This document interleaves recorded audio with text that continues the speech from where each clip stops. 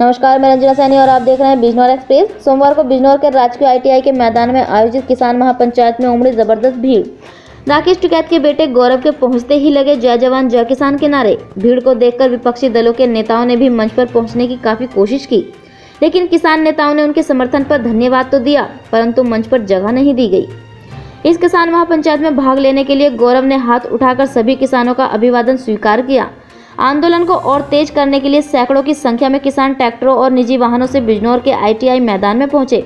हर किसान के घर में यही चर्चा है कि कैसे आगे का रास्ता सरकार में गुजरेगा और कहीं ना कहीं एक रोशनी दिखाई दी। उन्होंने एकता बनी चौधरी पहल की बहुत लोगों को और ये आज जो शक्ति प्रदर्शन हुआ ये उसी के संकेत। जय चौधरी जय चौधरी वो है। जब वो जगह बाबू के पास गए और उन्होंने कहा कि हमारे ज़रिए काटे जा रहे हैं। हमको इस्लाम स्वीकार करने का दबाव बनाया जा रहा है। गुरुदेव बाबू ने कहा कि कुर्बानी चाहिए। कोई बड़ा मुझे कुर्बानी तो ये बात रुक सकती है। गुरु गोविंद सिंह ने कहा, पिताजी, आपसे बड़ा कौन होगा?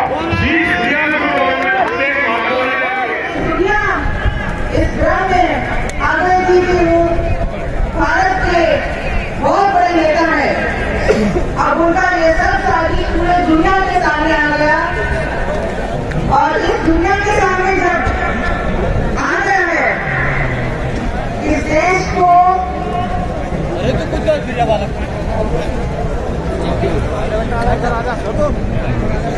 संभावना। संभावना किसान नहीं चाहता उठना ये सरकार हमेशा लोकमत में जनता के आगे झुकनी चाहिए। लोगों की यही उम्मीद है कि सरकार झुकेगी हटेगी। दूसरी बात ये आप अपनी पार्टी की तरफ़ से क्या? पार्टी की तरफ़ से किसानों की पार्टी है। जी। किसानों लिए काम किए लोग आज भी उन बातों को याद रखें और उसी विचारधारा को आइडियोलॉजी को आगे बढ़ाएँ। जैसे आपको पूरा देश देख रहा है तो आप क्या कहना चाहते हैं किसान भाइयों ये बहुत बड़ी संकट की इतनी अहंकारी सरकार हमने बना दी। ये शायद मतदाताओं को भी एहसास नहीं कानून वैक्यूम में बनते हैं। पीएमओ सारे मंत्रालयों के काम खुद करता है। मंत्रियों को जानकारी नहीं दो लोग ढाई लोग इस देश में इतने ताकतवर हो गए मैं समझता हूँ कि वक्त आ गया कि इनके अहंकार को किया जाए। लोग एक हों आपसी मतभेद को भुला करके लोग एक मंच में आए। धन्यवाद।